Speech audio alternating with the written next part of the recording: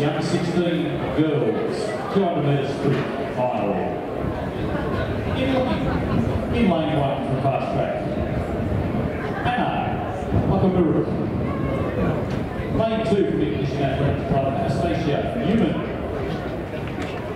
Lane three for the QE2 track club, Renee Ike. Lane, lane four for the QE2 track club, Monique Hanlon. Lane the QE2 track club, Txai Anglin.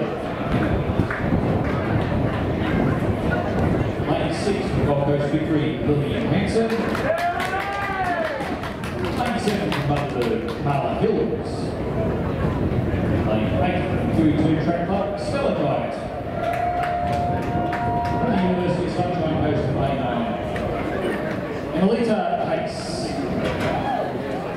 From New South Wales in lane 10, Annika Swift.